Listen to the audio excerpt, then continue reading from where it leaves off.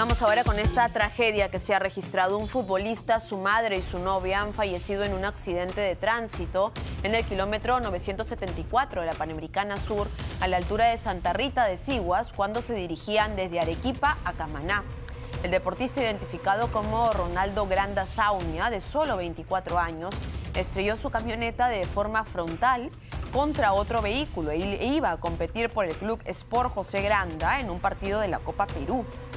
Los tres ocupantes de su auto también han fallecido, entre ellos una mujer que iba en la otra unidad. Los cuerpos han sido llevados a la morgue de Camaná y los policías de prevención de investigación de accidentes de tránsito viajaron también hasta la zona del choque para determinar las causas de este terrible accidente. Ronald Granda iba a integrarse a su equipo en Camaná para disputar una fecha más de la etapa provincial de la Copa Perú.